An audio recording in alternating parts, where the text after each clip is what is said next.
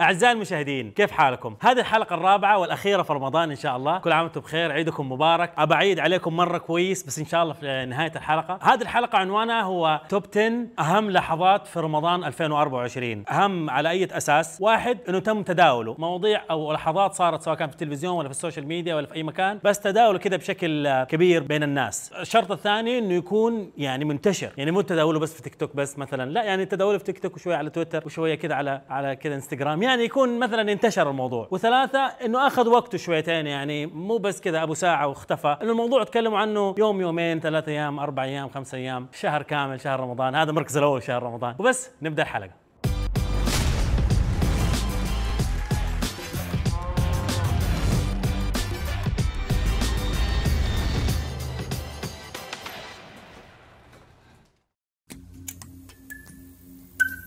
في المركز العاشر معانا لأهم عشر لحظات في رمضان العرافة شمس المطربة أو المغنية ما أدري أو العرافة شمس. مؤخرا لاحظنا أن هي قاعدة تتحول من مطربة إلى منجمة. مؤخرا بتطلع في مقابلات ولا بتطلع في اللايفات ولا بتطلع في, في, في سناب شات حقها بتهبد هبد هبد من أجل الهبد. هبد فهبد. الأخطاء الطبية من ضمنها السرطانات عشان يخلصون على البشر. هبد فهبد. العالم وجهة نظري راح يكون منقسم اثنين عبيد وأسياد. وهاتك يا هبد ها. ما ما هي توقف. في بداية رمضان هذا طلعت في مقابلة في سناب شات مع واحدة يعني أنا ما أعرفها الصراحة بس بتسألها عن الهبد. وكانت بتهبد هبدات عادية حقت كل يوم هذه حقت شمس. سبب عدم ثبات العطر على الشخص دونا عن الآخر درجة حرارة الجسم. the everyday هبد حق شمس. لما فجأة شمس قالت ادتنا الضربة القاضية. إنه هي إذا سلمت على واحدة تقدر تشم في الناس إذا هي مريضة ولا لا. يعني أنا المرة اللي عندها مشاكل في الهرمونات إذا سلمت عليها لو حاطة ألف عطر أعرف إن عندها مشكلة يا في صدرها يا في رحمها يا في جسمها في, هر... في أي هرمون. ما أدري تخش كلب. بس إنه يعني هي صار عندها هذه المهارة مؤخرا. أسمع الهبدة هذه. وبعدين قالت إنه حتى المكتئب له ريحة. بعيد الشر اللي عنده اكتئاب حاد. عنده ريحة مميزة لو تسلمين عليه. لو حاط إن شاء الله دخون وعطور وبخور تشمينها تصير زي ريحة حرق الأسلاك.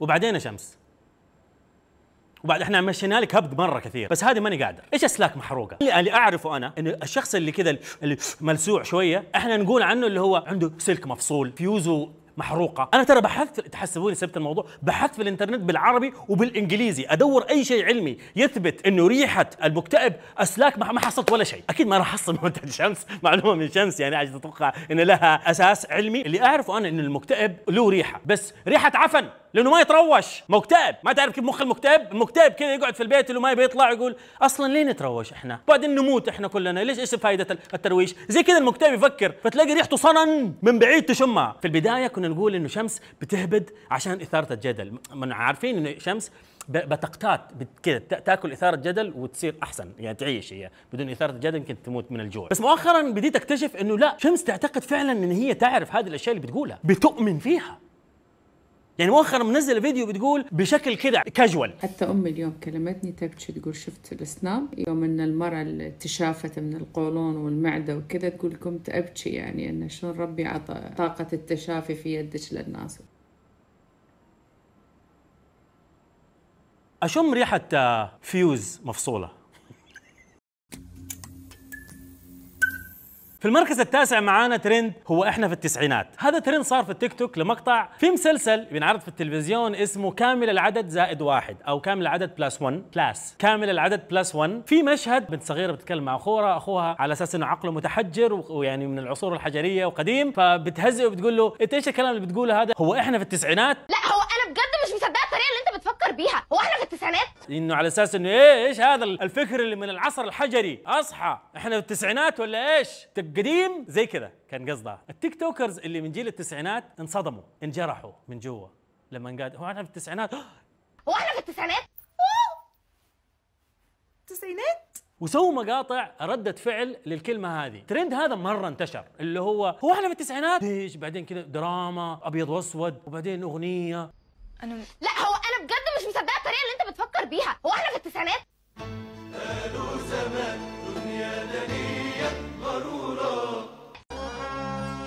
ابص الروح فجأة لقيتني ليه بس كده؟ بس كده بس؟ خلاص دراما دراما. قلبوا دراما. أول مرة يكتشفوا جيل التسعينات.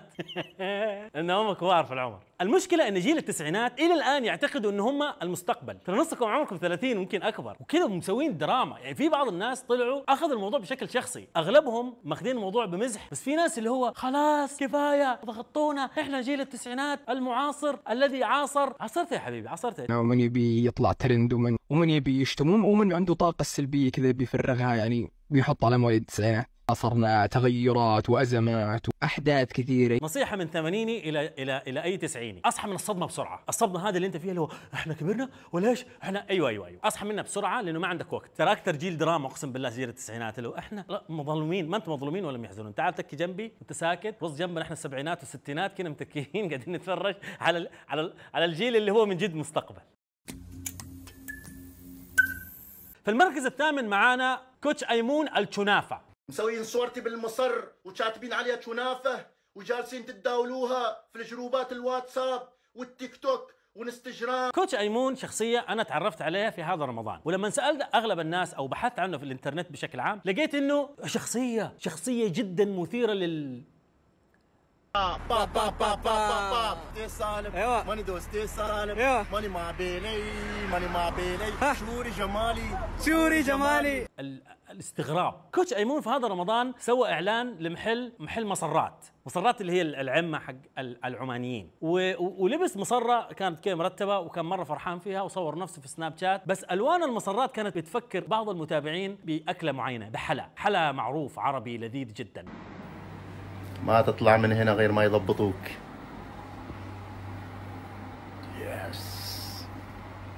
سووا الإعلان عادي طبيعي بدا الناس يسووا memes تصاميم كذا يحطوا صورته ويحطوا كنافة ونفس ال color palette حتى مو نفس ال color palette فعلا كأنه لابس كنافة على راسه تمام؟ بس اللهم لف كنافة كذا على راسه كذا وقال يلا بسم الله الرحمن الرحيم أنا راح أصلي العيد وانتشر. وهو هذاك الوقت دخل آه live في تيك توك ومو عارف إيش قاعد يصير من وراه. خلص البث التيك توك فتح الإنترنت لقى نفس الترند صوته هو جاب كنافة ولقى في تشابه مرة كبير فزعل مرة. زعل زيادة عن اللزوم يعني يعني ما عمري شفت واحد يزعل قد كذا على ميم. أو يمكن أنا ما أعرفه كويس. فصور فيديو مرة كان زعلان. زعلان. يا أخي ما تشجعوا الواحد.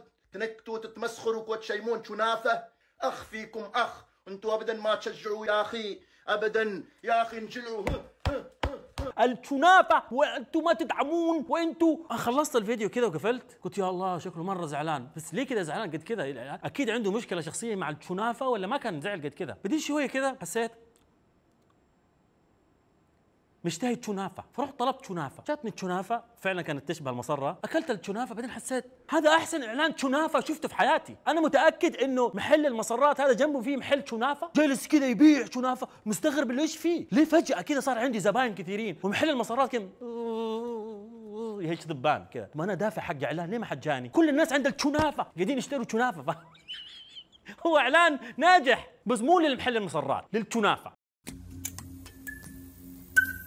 في المركز السابع معانا واقعة عبد الرحمن المطيري وياسمين صبري. لازم احكيكم الحكاية كاملة. معليش. حدخل في شوية تفاصيل. كان في حفل تدشين عطر معين لشركة عطور معروفة. وعازمين في الحفل هذا صار في رمضان هذا أوكي؟ وعازمين فيه مشاهير كثيرين من ال social media أسماء جدا قوية زي مثلا كابتن ياسر القحطاني آه، عبد الرحمن المطيري آه، ياسمين صبري آه، زوجة نيمار يعني كذا أسامي. وبيقدم الحفل نيشان كذا شيء كذا قوي. وبدأ الحفل طبيعي تمام كل أحد كذا مبسوط كذا موسيقى كذا lounge music بعدين بدأ فقرة المسرح. طلع نيشان هو مقدم الحفل بدا إيش يحيي الناس ويرحب بالناس. أهلا وسهلا فيكم زي كذا. وبعدين فجأة ياسر القحطاني قرر إنه يطلع المسرح عشان يقول لنيشان أنت سلمت على البنات بس أو على النساء بس ما سلمت على الرجال ما اعطيتنا وجه. آه نيشان قال أوه أوه sorry sorry sorry أنا سلمت على على الكل سلمت بس أنت ركزت على الصبايا. بدا يصير في إيش؟ حساسية صار في كهرباء كذا ما بين النساء والرجال. المناسبة أو الفعالية هذه عن عن عطر بس فين؟ لا خلاص صار في صار حرب حرب صامتة حرب باردة بين الرجال والنساء. مم. مم. دين نيشان قرر ينزل من المسرح مع الميكروفون. وينكم يا صبايا. راح وجلس كذا بينهم كيف في وسط في وسط البنات كذا مم. كيفكم مم. كذا يتكلم معاهم حلو نسي نفسه كذا قال أوف أنا صح المفروض أقدم حفل آه نسيت أنا ليش جيت هنا أصلا أوه طيب آه آه، وينه عبد الرحمن المطيري عبد الرحمن وينك؟ تعال هو تعال تعال تعال تعال قرب لهون قرب ياخذ صورة شوي معك تعال تعال تعال تعال تعال تعال تعال تعال الله يسعدك.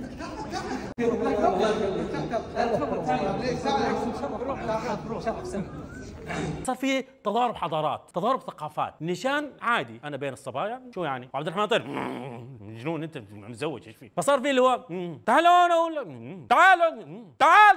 هذا المقطع أو الفقرة هذه ليش أنا بتكلم عن الموضوع أصلا؟ انتشر في ال social media كل الناس بتعلق اللي هو أوه شوف عبد الرحمن المطيري بيسوي حركات عشان يبين انه هو يعني عفيف ومدري إيش. هو كان لازم يسوي زي كذا أنا ماني عارف إيش قاعدين تقولوا. يعني إيش حترتاحوا؟ لو لو في حضنهم يعني؟ تعال لهون. طيب. في حضن البنات؟ أكيد. أكيد ما راح تنبسطوا. حتزعلوا أكثر. قبل يخلص الحفل بشوية عبد الرحمن المطيري قرر يجلس لحاله. ماسك له زاوية وجالس لحاله. شو بينحرج؟ منحرج منحرج جت ياسمين صبري. قرر يسوي دراما ما كانت موجودة أصلا. اللي هو اللي هو عبد الرحمن صار يطالع كذا مبتسم. إيش قاعد تقول أنت؟ ياسمين كذا إيش قاعد يصير؟ كيف كانت معدية وعدت ومشت كان رايحة بيتها يعني. أنا عشان كذا ما أحب أمشي مع مشاهير. عشان أنت فجأة كذا قاعد في أمان الله بتتكلم مع أصحابك بتقضي وقتا ممتعا جدا. وبعدين تتكلم في موضوع أنا ذاك اليوم مشيت فجأة بدون سابق إنذار في فلاش. كذا في عينك ينفتح صاحبك. كذا عيد السالفة بالله عشان اللي متابعيني. عيد السالفة. وأنت عيد سالفة. السالفة اللي بتقولها ها، قلت خلاص خلصت. عيدها عيدها ما حتطلع حلوة خلاص يعني هي طلعت عفوية. بالله على تقوم تعيد السالفة وبعدين يروح يصورها وتقولها بطريقة سامجة طبعا. والناس يتفرجوا يقولوا مين السامج هذا؟ وأنت يعني قاعد في البيت نايم تجيك التهايم وأنت نايم فاهم؟ في المركز السادس معانا انتقام مستر شنب. السلام عليكم شخصي طيبين. اليوم فيديو جايب لكم تحدي مرة مرة قوي أقوى تحدي في اليوتيوب. طبعا آه شوفوا. هذا سيكل ومسبح هنا. دحين مستر شنب يا جماعة هو YouTuber. دوره في اليوتيوب إنه هو يكون كيس رمل لأي شخص ما عنده محتوى. punching bag فاهم؟ ما عندك محتوى؟ اديه بوكسين. فأي أحد حاسس إنه زعلان اليوم زعلان نزل فيديو تارك فيه على مستر شنب. وعادي مستر شنب ما عمره رد. طول عمره يستقبل. قلبه كبير. هذا دور. وجلس الناس فترة مرة طويلة على هذا الحال. مستر شنب نزل فيديو سب بسبب بدون سبب حنتريق عليه. ها ها ها ها ها, حاسين نفسنا أفضل اليوم. إلا في يوم من الأيام هذا رمضان في clan اسمه Power واحد من أعضاء ال clan قرر إنه هو ينكت لبقية أعضاء ال clan ويتريق على مستر شنب. زي كل مرة ما في محتوى. بوف بوف بوف. صح؟ قال مستر شنب ما عنده إلا مسبح. كل شويتين محتوى مسبح. مسبح. الحين أنا جبت مسبح وأسبح فيه. تمساح جوا المسبح أيوه. سرير جوا المسبح كلنا جوا المسبح يلا عيال نسبح. حلب أم المسبح. يا عيال أقسم بالله رايد عرفها مسبح. كل محتوى مسبح. أقول شيء شهرين مسبح. وعلى باله انه خلاص زي كل يوم. زي كل مرة. مستر شنب حيسكت وقلبه كبير صح؟ لكن هذه المرة مستر شنب ما سكت. وهذه أول مرة مستر شنب يقرر ينتقم ويرد. ومو أي رد. إنه يرد هذه لحالها لحظة تاريخية. إنه يرد هذا الرد. هو هو هو هو هو يكون معنا في المركز السادس لأهم لحظات رمضانية. مستر شنب قرر إنه هو يبدأ الفيديو يحط الفيديو حق الولد. الولد هو يعني أصلع طلعته تلمع شوية يعني بيهتم بنفسه. ملمعها كويس. مستر شنب بدأ الفيديو وهو ماسك حبة ملتي هذه الشوكولاتة المدورة Malteser كذا مسكها كذا وجاي يأكلها. حلب أم المسبح. مسبح.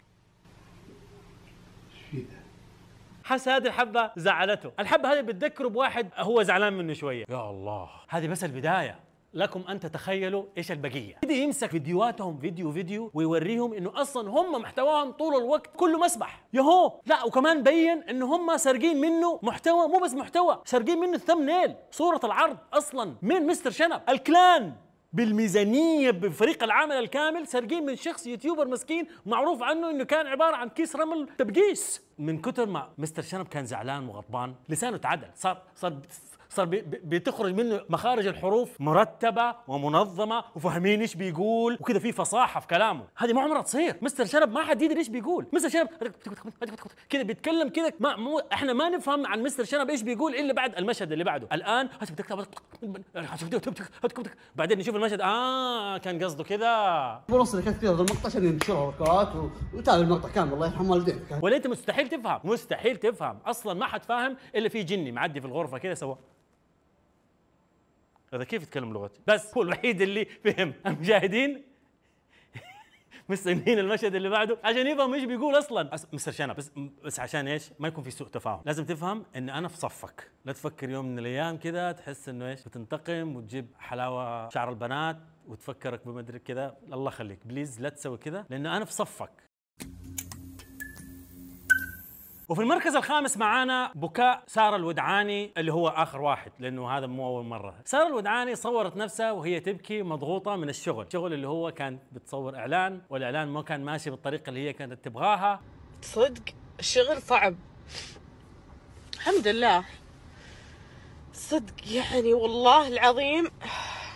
والناس ابدا ما تعاطفت مع سارة الودعاني بأي شكل من الأشكال. بالعكس كانوا بيتريقوا عليها طول الوقت. وفي واحدة كانت متعاطفة معاها زيادة عن اللزوم لدرجة إن هي صورت فيديو بتبكي بتبكي أكثر من سارة الودعاني. أرجوك لا تبكي سيبي لي أنا الموضوع أنا حبكي عنك.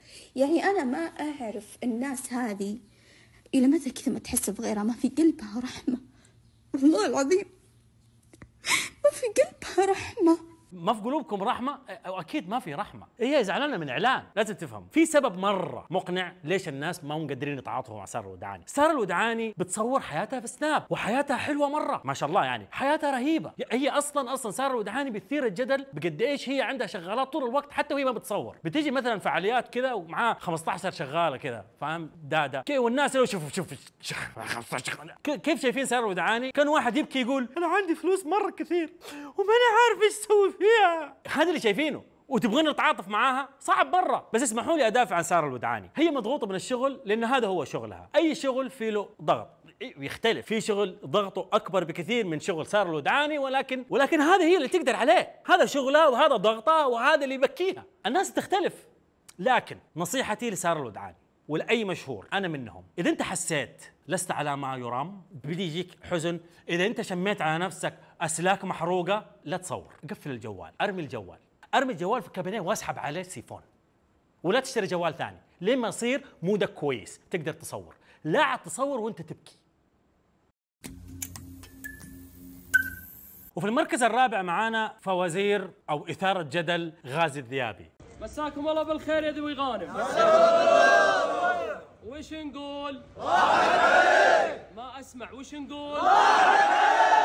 غازي الذيابي يا جماعة يا شخصية الصراحة أنا بالنسبة لي أنا ماني عارف يعني أحطه في أي قسم قسم الطيبين ولا قسم الأشرار. أحيانا أحس كذا وأحيانا أحس كذا الصراحة. بس في هذا رمضان سوى فكرة الصراحة أنا شخصيا عجبتني لأنها يعني كذا جديدة. سوى فوازير فوازير رمضانية كذا كامل بال setup إضاءة بالناس بيستقبل متصلين بديهم جوائز بس في سناب شات. ناخذ المتصل الثاني ونسحب ونشوف. لكن أثناء الفوازير رزق بمولود. الله يبارك له يا رب. ولما رزق بالمولود بيدي يسوي حركات اثارت جدل أزعج الناس بإثارة الجدل. تقول هذا الشبل من ذا الاسيد وسط العرين يا سلام. سيده من المشفى على البيت القصر. واللي يشكك في دروب الغانمين يصبر مع الأيام ويشوف النصر. قرر يسميه النصر. لا لا لا. هو مو تيشيرت هو baby هو مولود جديد. سماه على النصر. المولود. أنتوا فاهمين؟ وبعدين صور وهو يأذن بإذن ابنه الصغير المولود الجديد. أشهد أن محمد رسول الله. صراحة أنا تأثرت. لأن هذه لحظة جد جدا كذا خاصة وحميمية وكذا ويتمناها كل رجل يتمنى أن يكون أب يوم من الأيام. فكذا كان يبكي و... الله أكبر الله. بعدين وأنا قاعد أتفرج كذا تأثرت شوية بعدين فكرت قاعد يقول إحنا ليه بنشوف ذا المشهد؟ إحنا ليه هنا؟ إحنا ليه معاه؟ أنا ما أعرفه أنا ماني صاحبه. ليه بشوف هذا المشهد الخاص جدا؟ الناس ما سبته. صاروا يقلدوه في تيك توك.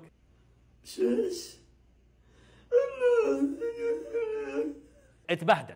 الناس ما سبته في حاله. لأنه الناس ما هم متقبلين منه أي شيء. بعدها كذا قرر يجيب هدية لزوجته طقم ذهب وصور هذا ال- الشيء. وطقم الذهب كبير كبير مرة. يعني كذا شايله ما كان مرتاح ابدا. يا رب اجعله من مواليد السعادة واجعله من حفظة كتابه الكريم. أنا أعتقد مشكلتنا أن غازي الذيابي لازم يهدي شويتين من ناحية أنا عندي فلوس. يعني هو أحيانا بيورينا أنه هو بيساعد الناس لكن خلاص في الفوازير اتصل على واحدة متسابقة. قال له السلام عليكم. قالت وعليكم السلام. سمعت صوت رجال قفلت. قام هو سوى. والله يا أختي لو تدرين من اللي متصل ما تقفلين في في الفوازير في رجال واقفين. دورهم إنهم يغنوا يصفقوا ويهللوا كذا هذا دورهم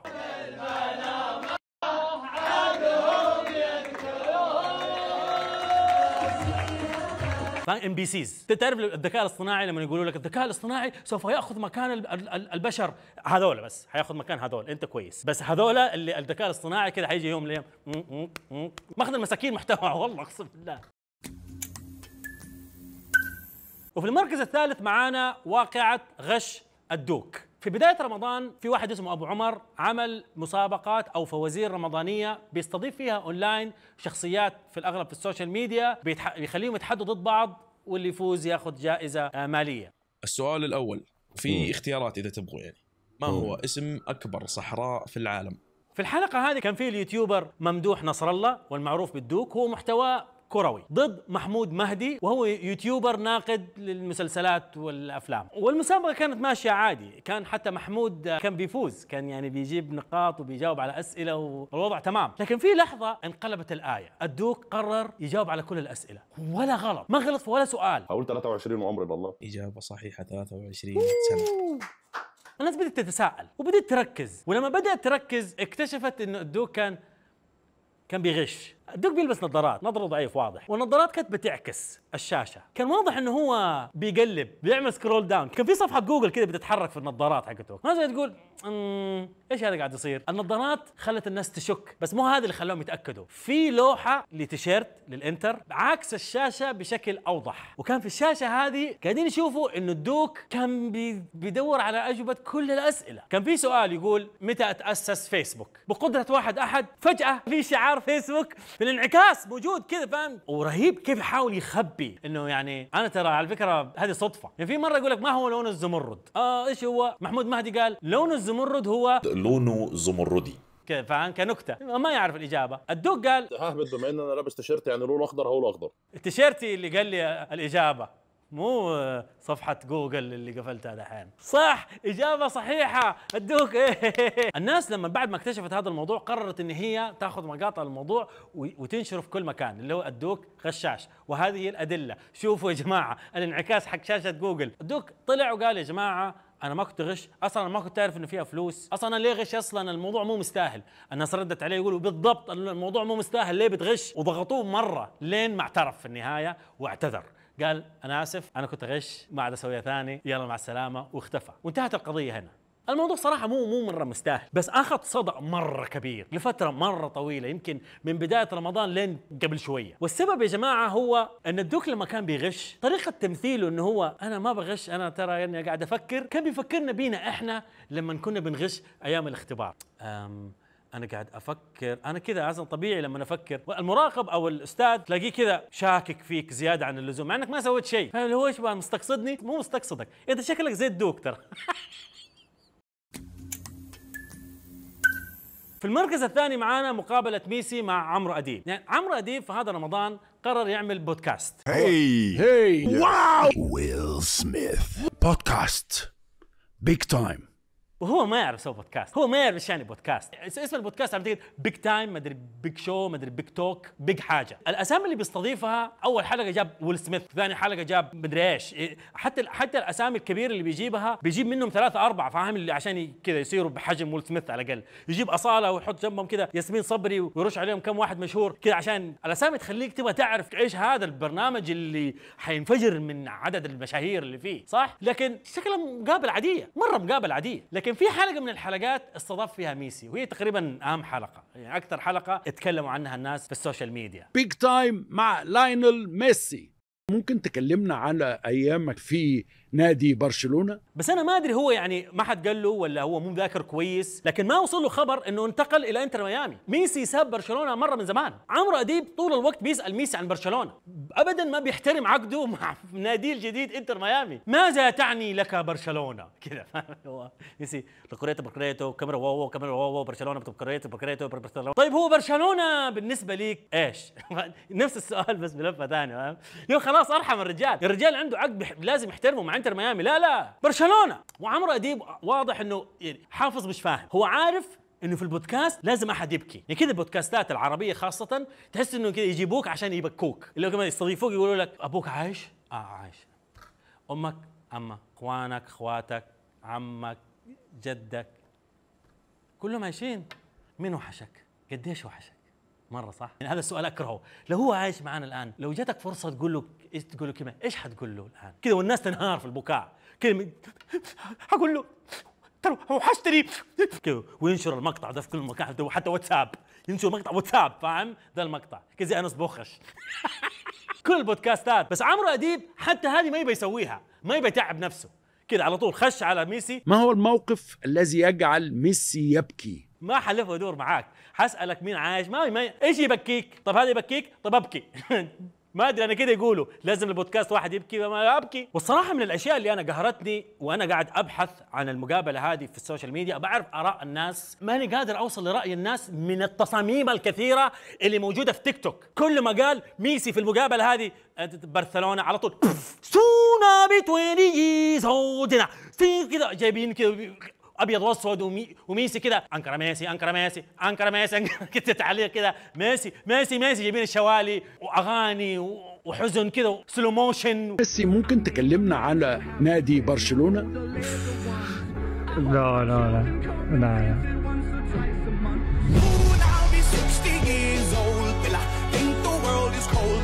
خلاص خلاص. تخطوا تجاوزوا الموضوع. ميسي ترك برشلونة بيلعب الآن في إنتر ميامي. ما أنتوا دارين ولا إيش؟ لا عمرو أديب داري ولا المتابعين دارين. خلاص يا جماعة. وبعدين البودكاست اللي أنا أفهمه إن البودكاست مقدم البودكاست الأساسي بيبدأ الحوار ويسلم للضيف ويسيب الضيف الميكروفون. يلا عيش. حتى ممكن يكسر الميكروفون ويرميه حقه. خلاص. دور الضيف إنه يتكلم. لكن عمرو أديب جايب الناس يفضفض لهم. هو بيتكلم أكثر منهم. أصالة. آه لا. يعني أنا رحت هناك وكذا قاعد يفضل والصراحة كذا أحد يقول لعمرو أديب يرجع البرنامج وبلا بودكاست بلا يحزنون أنا بمشي مع الموضة. يا عمي ارجع البرنامج. ترى كنت كويس هناك. وفي المركز الأول معانا لأهم لحظات رمضان 2024 المسلسل اللي الكل يتكلم عنه من بداية رمضان إلى يومك هذا. المسلسل اللي كرنجنا كلنا. زوجة واحدة لا تكفي. خليني أقول لكم فكرة المسلسل بشكل عام وبعدين ممكن أحرق قدام فيعني اللي لسه نفسه يتفرج على المسلسل واللي لسه ما يعني ما شاف الحلقات الأخيرة آه يقفل ويروح يشوف المسلسل وبعدين تعال كمل الحلقة. المسلسل زي ما هو واضح في اسمه كده عبارة عن رجل متزوج واحدة ومتزوج عليها اثنين مدري ثلاثة كمان. الفكرة إنه الرجل هذا آه متزوج على زوجته على حساب زوجته زوجته صاحبة مدرسة وكل أحد ثاني حوالينا سواء أقاربها بناتها أختها عارف إنه زوجها متزوج عليها بس ما حد قادر يقول لها. الفكرة حلوة الصراحة تشد. لو أوه متى حتعرف؟ أوه أوه أوه، شكلها حتعرف؟ لا لا ما عرفت. أوه الحلقة الجاية حتعرف؟ أوه لسه ما عرفت. أوه أوه، قربت تعرف بس ما عرفت. زي كذا. هذا المسلسل لكن قبل لا آه، ندخل في سلبيات المسلسل أنا تعلمت عشان تصير ناقد ناجح لازم تتكلم عن الإيجابيات قبل السلبيات. وخلينا نتكلم عن الإيجابيات. واحد أحداث المسلسل صراحة تشدك. ماكو هم اللي ذابحينها ماكو عزة هم اللي ذابحينها اي أنا في لحظات مرة كثيرة مشغلين أهلي المسلسل في البيت كذا وأنا إيش المسلسل السخيف هذا؟ اللي هو طالع فيه كذا بثقل بس أتفرج عليه لأنه في أحداث تشدك الصراحة. الشيء الثاني الإيجابي التمثيل كويس. مستوى التمثيل بشكل عام كله كويس ما عدا الكومبارس ما عدا ال extras والناس خذهم خذهم أسوأ extras في تاريخ الدراما الخليجية والعربية. لكن الصف الأول والصف الثاني تقريبا كلهم كويسين. الأسماء قوية وسووا دورهم مرة كويس. خاصة طبعا بعد هدى حسين إن هي قامة فنية مرة كبيرة وطول عمرها بتمثل مرة كويس وما عمرها خذلتنا. لكن اللي فاجأتنا في المسلسل الصراحة هي نور غندور. سوت دورها مرة كويس. تمثيلها كان مرة رهيب. الأماكن دي هي اللي فيها الصيد الجديد. عشان يوم ما الصنارة تغمز تغمز على حاجة تقيلة وعليها القيم مرة مقنع لدرجة إني صدقت فعلا إن هي في الواقع gold digger وتحب الفلوس كذا و... و... وتستغل ال- الرجال بجمالها الحلو. كذا خلصنا من الإيجابيات. تعال لي على السلبيات. المسلسل هذا مرة cringe تعرف يعني cringe cringe ترجمتها حرفيا قرفصة. يعني كذا تتقرفص كذا. مجازيا كرنج يعني تحس كذا أنت بتتألم كذا تنزعج جدا حتى الألم من إنك تتفرج على مشهد معين. كذا تشوف مشهد رومانسي.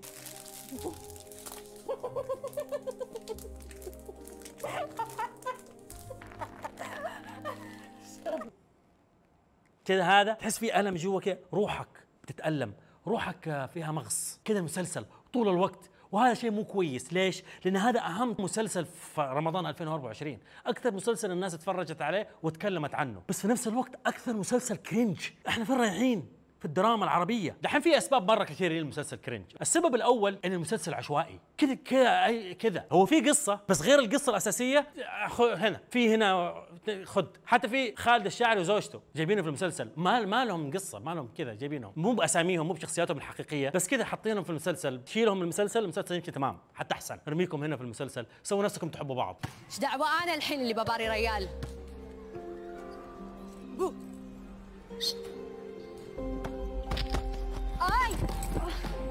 أنا ما أدري جابهم هنا الصراحة. أنا ما- أدري الصراحة فعليا. بس كذا تعرف له قضايا مرة كثير كذا بعشوائية. فهمت؟ تحس المسلسل يبغى يصلح العالم. بعد المسلسل هذا الكاتبة كانت متوقعة إنه كوكب الأرض يص- يصبح مكان أفضل للعيش فيه. وما هي ملحقة. فاهم كذا قضايا قضية ورا قضية. مثال الحلقة الأولى كان في مشهد إنه في طفل في المدرسة بيتنمروا عليه. تنمروا عليه تنمروا عليه تنمروا عليه وضربوه وفسخوه وزعلوه. المهم راح لمكتب المديرة هو يبكي كلموا أبوه أبوه هزقه أنت ما أنت رجال أنت المفروض تاخذ حقك بيدك أنت المفروض ما تسكت أنت أنا أنا أتمنى إني أنا حتى ما جبتك. الولد مرة زعل أخذ مسدس وطلع من فوق المدرسة توفى الولد. جت الشرطة أخذت كل أحد مسؤول. منها مديرة المدرسة اللي هي هدى حسين. استجوبوهم تأكدوا أنه انتحر. هدى حسين قررت أنها تقول لا هو ما انتحر. هو مات مقتول. يقولوا لها كيف مات مقتول؟ مات مقتول. كيف مين مين مين قتله؟ إحنا كلنا قتلناه. كلنا. الطلبة اللي بهدلوه اليوم والطلبة اللي سكتوا عنهم. المدرسين اللي ما لاحظوه أبوه بدل ما ياخذه ويطبطب عليه وبخه.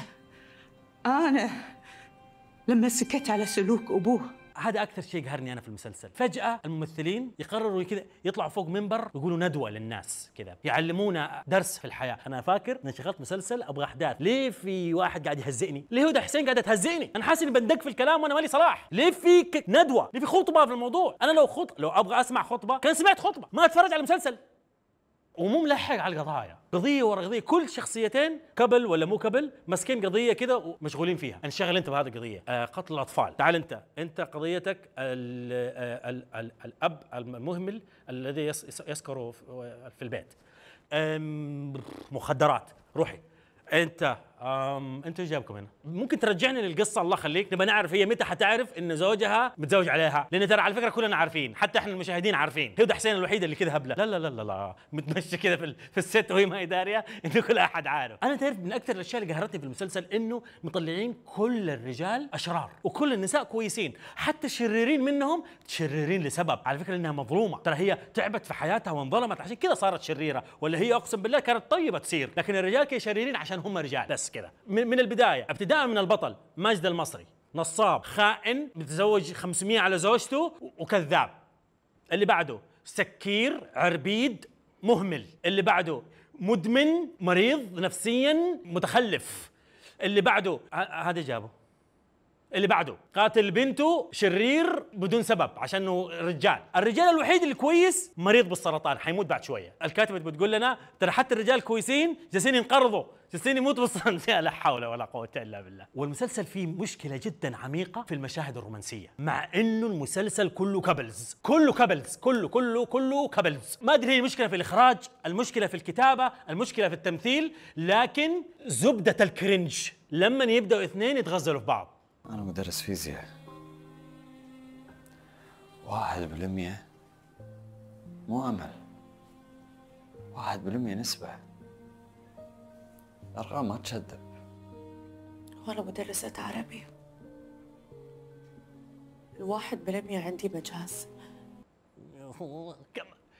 أكرنج مشاهد هي الرومانسية. 500 سنة بنكتب ونخرج مسلسلات لين دحين ما نعرف نكتب مشهد رومانسي الواحد يتحمس فيه يقول حتى أنا بحب. ولا مرة. شوف المشهد هذا. هذول ضايعين في البحر. وبيكلموا خفر السواحل. بس هي ما تبي تكلم خفر السواحل لأنه ما أدري. المشهد لازم يطول شويتين ولازم يكون رومانسي. إبراهيم. إبراهيم. إيه. يعني لازم أموت عشان تحبيني؟ أنا آسف يعني لازم أصيح عشان تقول آسف. يهد إن شاء الله. هذا مشهد رومانسي. مو هنا. بعدين قررت تكلم خفر السواحل. أخيرا أخيرا بعد مشهد التايتانيك هذا المزيف ال cringe اللي صار قررت أخيرا تكلم خفر السواحل. اتصلت على خفر السواحل سألوها أنت لحالك قام قالت آه إيوه أنا لحالي وقفلت. هو صار متشبت في باب البحر وقال لها ليه قلت أنت لحالك على طول على طول مسكت منبر واشتغلت الموسيقى حقت الندوة حق المسلسل. إيه أنا لحالي؟ لأن أنا حاسة إني لحالي. ترى إحنا ما نحتاج الأشياء اللي نحبها إحنا نبيها. الحاجة مو حب. الحاجة مذله مثل حاجتي حق إخواني. بس بس بفهم هذول ه- ليه هنا؟ هذول ليه هنا؟ وفي نهاية الحلقة يا جماعة أحب أعيد عليكم. واحد واحد استنوا. أول شيء أحب أعيد على أهلي أحب أعيد على أصدقائي في كل مكان وأحب أعيد على متابعيني. واحد واحد شكرا لدعمكم. آه كل عام وأنتم بخير وعيدكم مبارك. وأحب أشكر قناة الآن على الفرصة اللي أعطوني هي وأقول لهم كل عام وأنتم بخير برضو وعيدكم مبارك. ومكملين إن شاء الله باقي تسع حلقات اللي في الموسم. لا تنسوا تسووا subscribe تشوفوا معنا الحلقات اللي فاتت وتكتبوا لنا في التعليقات إذا عجبتكم الحلقة ولا لا. ويكتبوا لنا إذا عجبتكم آه تحسبوني ماني شايف. غيرنا لكم ترى الخلفية. okay تمام. ممكن نوقف نبكي خلاص. كفاية بكى ها الخلفية عجبتكم ولا لا؟ اكتبوا لنا في التعليقات okay؟ وبس و like share. إذا ضحكت بالحلقات سوي share عشان هنا انشر الفرحة والضحك بين أصدقائك وأهلك. أحبكم مرة كثير. السلام عليكم.